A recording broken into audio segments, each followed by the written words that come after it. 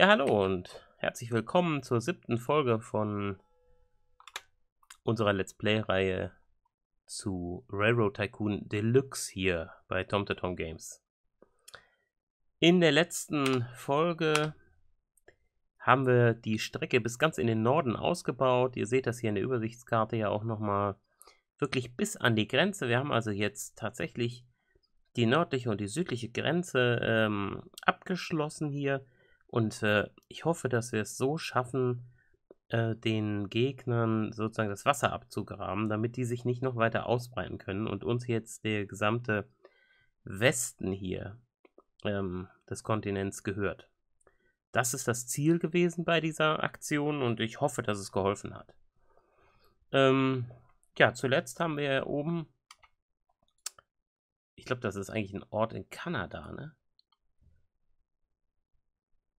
Wir haben Saskatoon ange, ähm, angebunden. Ich bin mir gar nicht sicher, ob wir, da haben wir glaube ich noch keinen Zug, oder? Haben wir den am Ende noch äh, gebaut? Doch, den haben wir schon gebaut. Wir machen da auch nur ganz, äh, ganz schlichten Passagierverkehr.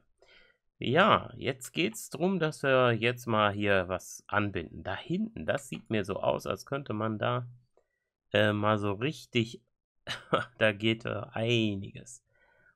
Im wahrsten Sinne des Wortes ist da eine Menge Kohle zu holen. Da könnten wir uns wahrscheinlich dumm und dämlich mit Kohlelieferungen äh, verdienen. Jetzt müssten wir hier irgendwo mal ein Stahlwerk bauen. Wir brauchen also Geld für ein... St da ist wahrscheinlich schon Stahl. Ne, eine Papiermühle. Das ist gut. Ähm, mal sehen, was es kosten würde, ein Stahlwerk zu bauen. Build Industry. Steel Mill 600.000. Okay. Also, wir sollten jetzt mal das Spiel ein bisschen weiterlaufen lassen. Und ähm, dann in Saskatoon gleich ähm, ein Stahlwerk bauen, um dann die Kohle von dort drüben äh, hier hinzuliefern. Ich baue auch schon mal den Streckenabschnitt, fange ich schon mal an. Dann sind wir das Geld sowieso schon wieder los. Aber das sieht mir ja nach einer sehr guten Chance aus. Jetzt wird es gleich nochmal teuer. Weil es wahrscheinlich ein... Nein, kein Tunnel. Interessant. Ja, ordentlich Gefälle drin. Natürlich in der Strecke. Gleich sind wir da. Eieiei. So. Okay. Einer geht noch. Und jetzt bauen wir eine Station hier. 22 Wagen Kohle pro Jahr, das ist natürlich schon eine ganze Menge. Ja, jetzt sind wir allerdings auf 50.000 im Minus und müssen erstmal wieder abwarten. Ähm, Game Speed hatte ich jetzt auf Fast, aber wenn wir rauszoomen, reicht auch äh, die mittlere Geschwindigkeit. So, noch ein, zwei Züge müssten ankommen damit wir unseren... Eieiei. Jetzt sind wir im Minus hier ausgerechnet am Ende der Finanzperiode. Aber so ein Beinbruch ist das jetzt ja auch nicht. Okay.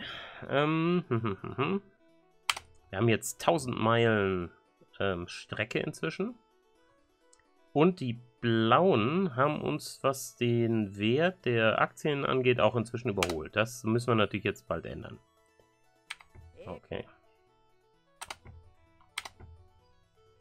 Aber trotzdem hat unser Aktienwert doch ordentlich zugelegt, äh, obwohl wir hier im Minus rausgegangen sind. Ähm, 74 auf 82 Dollar. Und wir sind aufgestiegen vom Steamboat Captain zum Banker. Ja, ist eigentlich kein gutes Zeichen, wenn man uns, während wir eine Eisenbahn äh, führen, äh, dann einen Job äh, bei einer Bank anbietet. Äh, wahrscheinlich haben wir den Job nicht gut gemacht, heißt das. So, einen neuen Zug brauchen wir. Einmal den Ten-Wheeler von Saskatoon. Da hatte ich ja, weil es ja das Ende der bisherigen Strecke war und auch so weit weg von allem, hatte ich ja erstmal alle wichtigen Gebäude für die Wartung und den Kauf von Lokomotiven gekauft. Deshalb können wir direkt von da oben starten. Und ähm, Ja, jetzt werde ich da ganz schlicht und ergreifend äh, nichts dranhängen in Saskatoon. Nur ein, äh, nur ein Bremswaggon. Und dann, also in Saskatoon, Caboose only und in Calgary dann. Ah, Calgary. Winterspiele. Ähm, da brauchen wir Kohle und zwar nicht zu knapp wahrscheinlich. Ja, Kohle.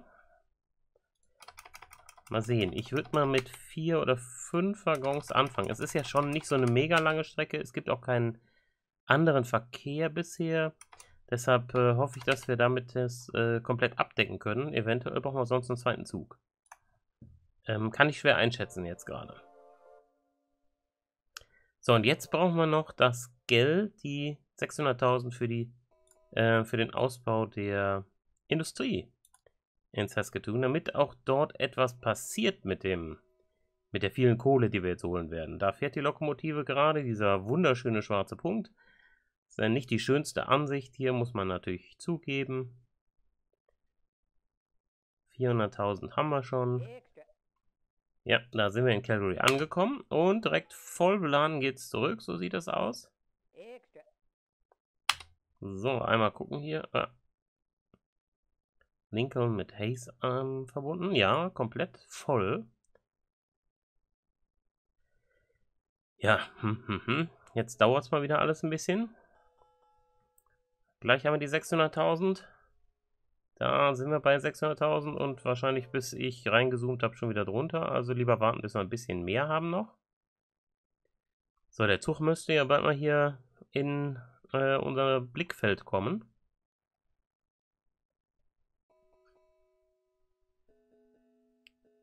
Okay, jetzt sind wir bei 800.000. Da können wir auch mal eben können wir eben mal bauen. Das ist ja auch gut, brauchen wir auch. Hierhin würde ich gerne eine Steel Mill bauen. Zack. Ja, ist nicht da, wo ich es bauen wollte, aber okay. Machen wir. So.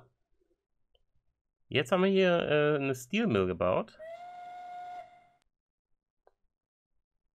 Da, ähm, das heißt ja, wir müssen jetzt gleich dann hier oben äh, einen Zug nach irgendwo schicken, äh, um den Stahl dann auch zu transportieren. Vielleicht bauen wir einfach die Strecke nach Calgary weiter, einen kleinen Abzweig und transportieren dann also den Stahl von hier nach Calgary. Das ist wahrscheinlich eine gute Möglichkeit, dass äh, wir den Stahl relativ kurz äh, loswerden, denn äh, hier runter nach äh, Denver City ist natürlich ziemlich weit. So, da ist in Fort Smith jetzt Kohle angekommen. Ja, hier unser Zug, der ist... Ah, da kommt er. Ja, da sieht man schon, voll beladen ist die Lokomotive schon eine ganze Ecke langsamer. Und jetzt müssten wir mal ähm, währenddessen hier drüben gucken, wie viele Waggons haben sich schon wieder angesammelt. Drei, okay. Das geht noch. Und, ähm, aber jetzt wüsste ich natürlich gern, wie viel Geld kommt dabei rum. 100.000 ungefähr. Vielleicht sogar was mehr, 130.000 vielleicht, wenn der Zug ankommt. Interessant ist, dass wir jetzt von der Industrie als solches ähm, ja gar nicht zu haben scheinen. Das ist in späteren Versionen natürlich anders. Da verdient man dann auch äh, mit dieser Industrie dann nochmal Geld. Das scheint hier jetzt ja nicht so zu sein. Jetzt haben wir aber dafür hier fünf Waggons ähm, Stahl und ähm, den müsste man natürlich ähm, mitnehmen. Ich glaube, also jetzt baue ich erstmal die Strecke ähm, weiter nach, nach Calgary. Also ich möchte gerne nach Calgary bauen. Tatsächlich bin ich aber nicht in der Lage dazu. Ah, jetzt. Hm. Ähm, dafür umfahre ich mal ganz galant äh, dieses, dieses kleine Gebirge. Die Freiheit nehmen wir uns mal. Zack. Ähm, ja, so ganz geht dann doch nicht. Tunnel machen wir. Und das ist schon ordentlich groß da oben, Calgary. Das ist auch gut. Ähm, ja, wunderbar. Das ist sogar richtig gut. Was war das für ein komischer Bildfehler, den wir da hatten? Ui. Das habe ich noch nie erlebt. Aber da haben wir... Was ist jetzt los? Heieiei. Da scheint aber irgendwas im Argen zu sein gerade. Ähm, das ist nicht der richtige Platz. Das ist der richtige Platz. Da haben wir nämlich die maximale Ausbeute. 30 Waggons Passagiere. Ja, da sind wir beschäftigt. Da müssen wir, glaube ich, gleich direkt eine Doppelstrecke draus machen hier. So viele Züge, wie, wie wir da äh, brauchen werden. Jetzt ist eben die Frage... Hm wie wir es machen. Also erstmal brauchen wir einen Entzug für die Passagiere und die ganze Post. Da brauchen wir ja nicht drüber nachdenken. Vielleicht sogar direkt zwei.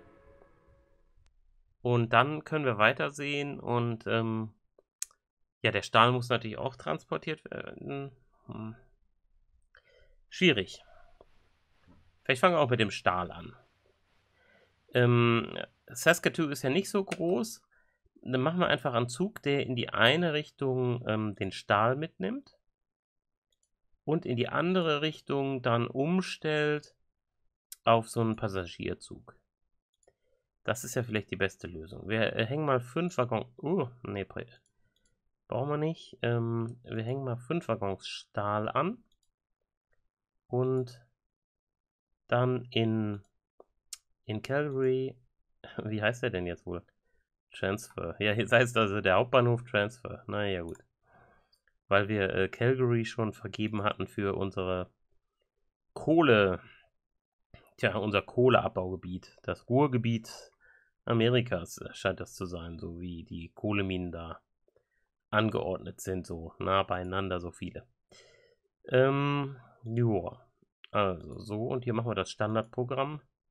Zweimal Post, dreimal Passagiere. Zack. Mehr ist, glaube ich, auch mit den Lokomotiven im Moment einfach noch nicht sinnvoll. Später kann man das mal machen. Äh, jetzt bringt das nichts. Und jetzt bauen wir direkt noch einen äh, hinterher, der dann nur Passagiere und Post ähm, mitnimmt. Und dann sollten wir hier oben eigentlich eine ganz lukrative Geschichte laufen haben. Ja, und das Geld, das holen wir natürlich jetzt wieder raus. Wenn wir die Möglichkeit haben, die Kohle in diesem Maße so schnell zu verarbeiten mit dem Stahlwerk vor Ort, dann sind wir natürlich ähm, auch gut dabei, denn wir verdienen einmal an der Kohle und dann verdienen wir hinterher nochmal wieder an dem Stahl. Äh, wenn man also solche Lieferketten dann hat, ist das, ähm, ist das natürlich eine gute Sache. So, ja, jetzt fahren wir hier nach Calgary Transfer und da sollen wir dranhängen auch hier das übliche Mail, Mail, Passengers, Passengers und Passengers. Und los. Super. Das sieht erstmal ganz gut aus. Zoomen wir mal ein bisschen raus. Jetzt gucken wir mal, hier haben wir jetzt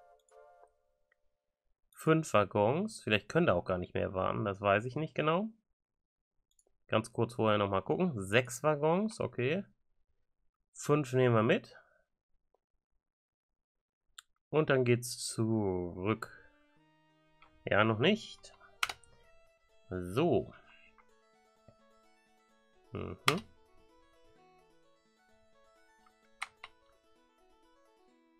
Okay, ja, wir sind immer noch äh, hinter den blauen jetzt, aber ähm, das werden wir sicherlich bald ändern. Das sieht ganz gut aus. Ja, 2,3 äh, Millionen haben wir jetzt eingenommen. Also es steigt auch, unser, äh, unser Ertrag. Das ist super. Überhaupt ganz viele neue Rekorde. Und bald wird unsere, werden unsere Aktien wieder gesplittet, wenn wir die 100 wieder überschreiten. Haben im Moment ein Wachstum von 16%. Das ist natürlich äh, schon mal super. So, jetzt äh, langsam kommt das Geld auch rein. Und jetzt würde ich sagen, äh, investieren wir das. Äh, ist eigentlich wieder doof, ne? Was haben wir denn? Ne, wir müssen noch ein bisschen sparen. Äh, wenn wir die Million haben, dann kaufen wir noch einmal Aktien. Denn wir kaufen dann jetzt 10.000 und äh, haben dann hinterher 20.000 zum höheren Wert wieder. Okay, hier sind schon wieder zwei Kohlewaggons. Ja, und jetzt haben wir hier nämlich schon diese Wartezeiten mit dem Gegenverkehr.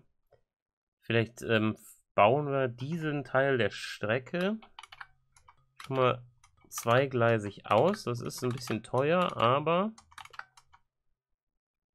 ähm, da haben wir jetzt wahrscheinlich viel Begegnungsverkehr. Deshalb ist das vielleicht auch nicht schlecht, wenn wir das machen. Ah. Ah, ich meine, das hätte doch vorher noch nie funktioniert.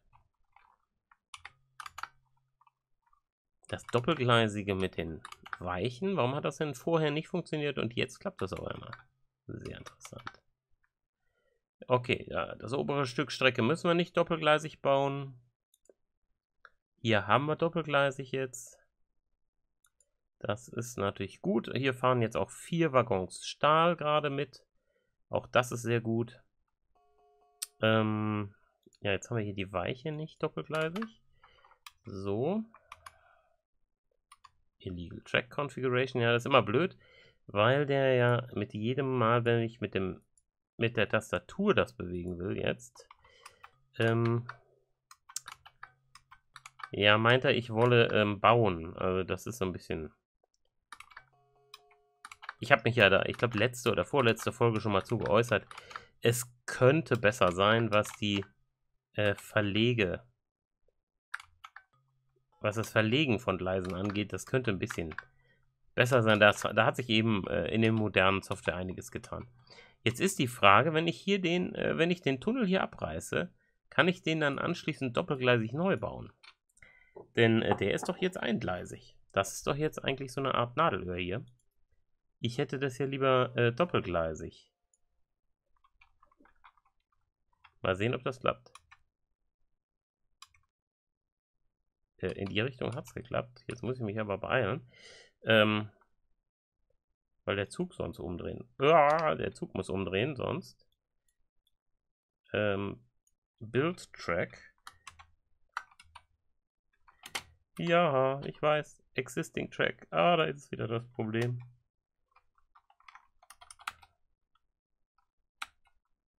Huh? Tunnel can't cross existing track. Jetzt haben wir aber ein Problem. Jetzt dreht er wahrscheinlich um.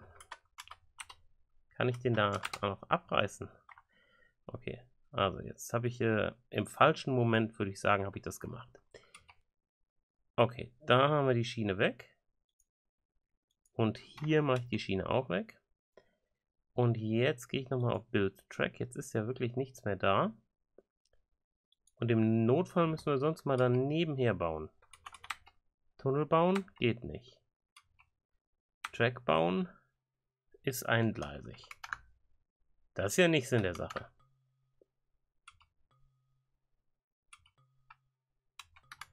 Hm. Ja, das könnte besser sein. Aber gut, jetzt können wir nichts mehr dran ändern. Das habe ich irgendwie, äh, habe ich versaut.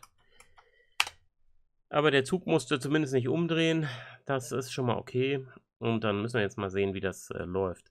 Jetzt haben wir da natürlich eine ordentliche Steigung drin und das äh, wird die Züge auch ein bisschen ausbremsen. Da war natürlich vorher die Situation mit dem Tunnel deutlich besser. Aber kann man eben nichts mehr ändern jetzt. So, das ist ganz besonders blöd. Ich sehe hier oben schon, jetzt fährt erst der Kohlezug los. Und das heißt, der hing jetzt da die ganze Zeit rum.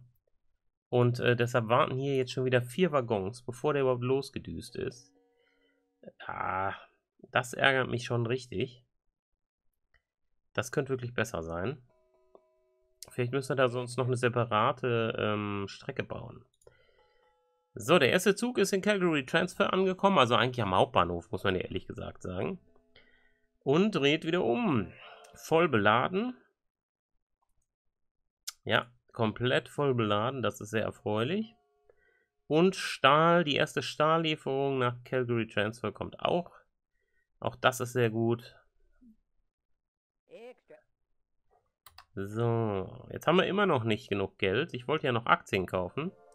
Aber ich denke, bis Ende des Jahres sollte das noch was werden. Wir kriegen jetzt die Kohlelieferung und die Stahllieferung.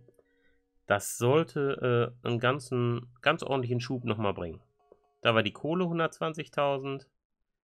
Jetzt fährt er wieder zurück. Natürlich relativ spät. Sechs Waggons waren da jetzt schon. Mal sehen, wie viel es sind, wenn er ankommt. Ja. Oh, und jetzt haben wir hier... Ah, jetzt haben wir da Güte. Ach, weil die wir Stahl hingeliefert haben. Eieieiei. Hm. Ja, dann wäre es natürlich eigentlich sinnvoller, wir würden den Zug mit dem Stahl hinterher auf Gürz umstellen, also auf Güter, aber... Hm. Oh, da hinten ist nochmal so ein Kohleding. Da noch so, so ein Riesenkohle, so eine Riesenkohleansammlung und Holz. Ähm, puh. Ja, das soll man auf jeden Fall auch noch anbinden. Möchte ich gleich mal gucken. Oh. Ja, bevor jetzt das Jahr zu Ende ist, schnell noch eben die Aktien kaufen. Erstmal äh, unsere hier. 10.000 zeichnen wir. Wie viel haben wir noch? 500.000 haben wir noch. Und äh, können wir uns da noch irgendwo Aktien für leisten? Ähm, mh, mh. Ich möchte ja eigentlich... Ah, das ist der Schwächste. Von dem könnte man natürlich von Jay Cooks Lake Charles und Baton Rouge. Da könnte man gut was von kaufen. Ach, ich darf nicht überall. Ah, ja, okay. Ich darf nur in eine andere investieren. Na gut. Na, dann machen wir das so. Ja. Jetzt ist erstmal die äh, Fiscal Period zu Ende. Da gucken wir mal. Das sieht alles ziemlich gut aus. Mit Passagieren haben wir jetzt diesmal eine Million Dollar verdient in diesem Jahr.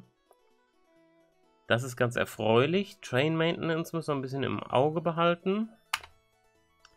So, jetzt haben wir die Operating Funds. Das ist auch alles gut. 600.000 haben wir ausgegeben für Industries. So, und jetzt haben wir nämlich den blauen wieder überholt. Wunderbar, auch das ist sehr gut. Das sieht auch gut aus. Revenue Efficiency ist etwas gesunken, glaube ich. Da waren wir, glaube ich, bei 7 Dollar im, im letzten Mal, aber naja. So, Train 17, okay. Ja, das ist erstmal gut. Und das ist der Aktiensplit von... Okay, 2 zu 1. Das heißt, wir haben jetzt mehr, aber das heißt auch 420.000 Aktien sind ähm, nicht ähm, bei uns, von uns gezeichnet. Die sind irgendwo außerhalb. Das heißt, das ist natürlich auch Masse, die jemand äh, übernehmen könnte. So, jetzt möchte ich, bevor die Folge zu Ende ist, ähm, hier die Strecke mal noch so ausbauen, dass ich da hinten diesen ganzen Kohlekram mit anbinde.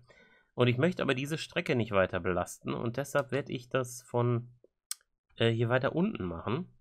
Dann das Nadelöhr wird trotzdem hier oben bei Saskatoon sein. Da ähm, brauchen wir, glaube ich, nicht drüber reden. Aber ich baue jetzt einfach hier nochmal eine Parallelstrecke. Und äh, schau mal, dass ich hier auch noch äh, mehr anbinden kann. Jetzt habe ich mal wieder keine Ahnung mehr, wo das ist. So, da sind erstmal drei.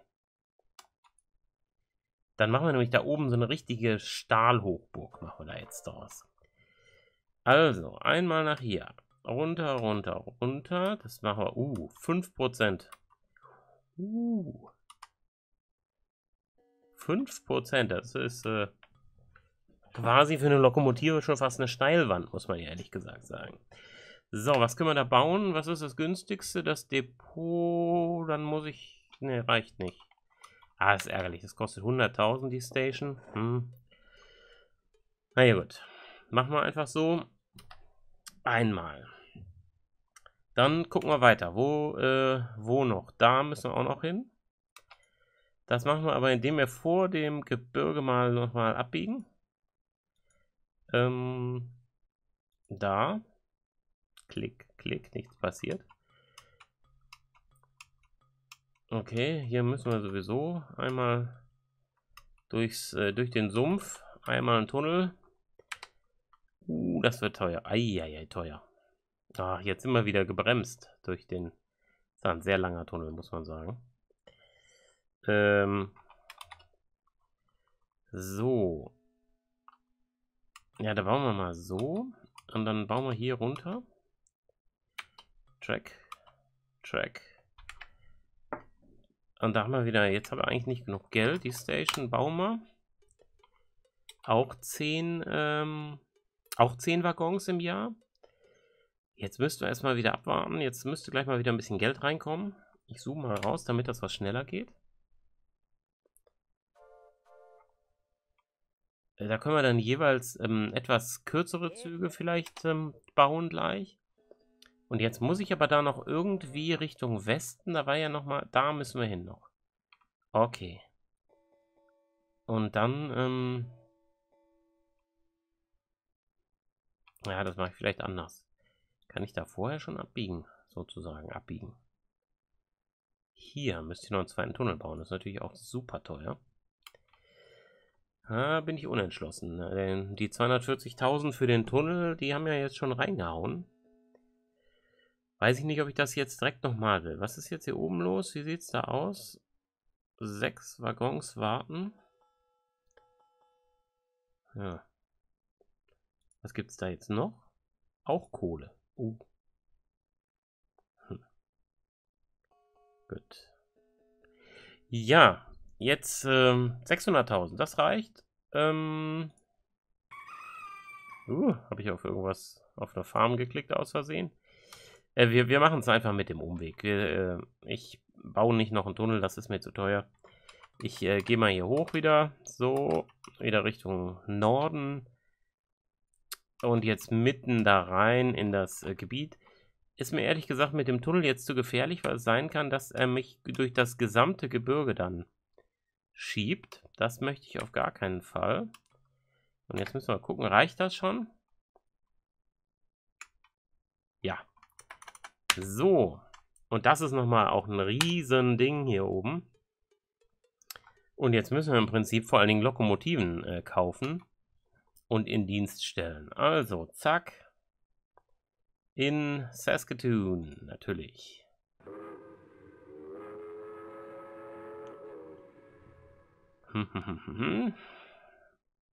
Da brauchen wir jetzt mehrere. Das wird jetzt wieder dauern, weil wir jedes Mal diese Animation hier erst sehen, die ja am Anfang ganz nett ist, aber hinterher doch ein bisschen nervt. Aber gut. So, direkt mal weiter. Äh, und damit das auch direkt losgeht, äh, nehmen wir erstmal den weitest, ähm, weitesten entfernten. Und ähm, hier kommt Caboose Only dran. Nur Bremswaggon. Und hier machen wir dann Kohle dran. Kohle, Kohle, Kohle, Kohle, Holz. Ja, müssen wir eigentlich auch noch machen. Holz. Und ähm, wenn ich jetzt noch einen dran hänge, dann ist wahrscheinlich ganz schlimm und der kommt nicht mehr voran. Und so ist es eigentlich nicht gut, weil wir damit noch nicht die gesamte Kohle kriegen werden, weil auf dieser Strecke natürlich auch die Hölle los ist. Denn die anderen beiden ähm, Bahnhöfe müssen jetzt ja auch noch anbinden mit Kohle. Das wird also jetzt schon äh, eine ganz volle Geschichte hier auf der Strecke. Auch die müssen wir wahrscheinlich in Teilen äh, dann noch zur Doppelgleisigkeit ausbauen, damit äh, wir damit den Zügen entsprechend Gewinn machen können. Sonst äh, warten die sich quasi die Räder in den, äh, in den Kessel wenn man das jetzt mal so sagen darf. So, in Great Falls, Kohle, Kohle, Kohle. Vielleicht, nee, nicht da, da wollen wir keine Kohle. In Saskatoon bringen wir die doch hin. Und äh, Kohle. Und dann wieder Caboose Only. In Saskatoon. Zack. Okay, und einen Zug brauchen wir noch. Dann haben wir sie. Saskatoon. Mhm, mhm, mhm. Ja, für die nächste Folge können wir uns schon mal äh, auf die Liste schreiben, auf den To-Do-Zettel, dass wir uns um die Lokomotiven kümmern müssen. Dass wir mal schauen, ob die alle auf dem neuesten Stand sind, ob wir da nochmal welche austauschen müssen, weil vielleicht die Wartungskosten zu sehr ähm, gestiegen sind damit wir auch weiterhin äh, günstig fahren. Denn die Lokomotivenpreise sind ja nicht so sonderlich hoch hier, muss man sagen. Äh, wenn die Wartungskosten dann hinterher fünfstellig sind, jetzt seht ihr ja, neue Lokomotive 2000 Dollar Wartungskosten, wenn die aber hinterher äh, höher steigen und dann fünfstellig sind, dann lohnt es sich natürlich sehr schnell, ähm, da auf, äh, auf ein neueres Modell oder selbst auf dasselbe Modell in, in moderner, in neuer, in neu umzusteigen. So, nochmal Kohle. Und dann werden wir jetzt gleich wahrscheinlich ein Problem haben, weil wir gar nicht genügend Stahl abtransportieren können. Vielleicht auch da dann nochmal die Frage, wohin können wir überall Stahl liefern? Und was machen wir oben mit den Gütern? Das ist ja auch immer noch äh, ein ungeklärtes Problem, aber auch eher was für die nächste Folge. So. Ja, jetzt gucken wir uns das hier mal an. Da wird jetzt wahrscheinlich ein Riesenstau entstehen. Jetzt fahren die da alle, äh, alle auf dieser neuen Route. Da kommt der erste, da kommt der zweite. Und ist der dritte schon länger unterwegs? Kommt da der dritte? Da kommt der dritte. Der ist ein bisschen nach, also als Nachzügler. So, welcher ist es denn? Ah ja, in der Reihenfolge, die wir gekauft haben. Wunderbar. Und hier, ja, in Great Falls sind wir angekommen. Erstmal nur zwei Waggons, äh, die da lagernd waren. Hier in ähm, Great Falls Central sind es schon drei jetzt. Wenn er ankommt, vielleicht sogar schon der vierte. Mal sehen. So dass sich das also auf jeden Fall lohnt. So, jetzt fährt er aber nicht sofort los. Da bin ich schon sehr gespannt. Hier oben haben wir drei Waggons, die warten. Und das nachdem wir da gerade einen vollen Zug abgeholt haben. Das heißt, hier hänge ich mal noch einen Kohlewaggon an und hoffe, dass wir bald eine stärkere Lokomotive zur Verfügung haben. Ja, ich muss sagen, wir müssen schon wieder pausieren. Denn wir sind äh, am Ende unserer äh, Zeit für diese Folge schon lange angekommen. Ist wieder eine sehr lange Folge geworden. Aber wir haben ja auch was geschafft. Wir haben jetzt wirklich hier so ein riesiges Kohleabbaugebiet mit Saskatoon ähm, verbunden und haben deshalb hier hoffentlich bald eine äh, blühende Stahl, äh, Stahlindustrie und ähm, deshalb auch Einnahmen ohne Ende. Ja. Und wir müssten uns mal darum kümmern, dass wir unserer Konkurrenz vielleicht ein paar Aktien abkaufen. Damit wir vielleicht früher oder später auch in die Lage versetzt werden, die einfach zu steuern. Das ist nämlich eigentlich auch eines der Ziele dieses Spiels. Ich habe es in Folge 1 mal erwähnt, ähm, es hat sozusagen mehrere Ebenen hier und eine davon ist, dass ich eben auch ein Unternehmen äh, durch die Aktienmehrheit ähm, steuern kann dann hinterher. Haben wir uns möglicherweise für das falsche Unternehmen entschieden. Kann sein, dass wir dann nochmal verkaufen müssen und ähm, damit es ein bisschen flotter geht, dann vielleicht das äh, Unternehmen nehmen, was äh, im Moment doch deutlich zurückliegt. Hier diese Baton Rouge Railroad Company. Ja, ansonsten bedanke ich mich, dass ihr dabei wart in dieser Folge zu Sid Meier's Railroad Tycoon Deluxe. Hoffe, ihr seid auch in der nächsten Folge wieder dabei. Ähm, solltet ihr den Kanal noch nicht abonniert haben, macht's doch ruhig. Und äh, ja, sonst bleibt gesund und bis bald. Tschüss.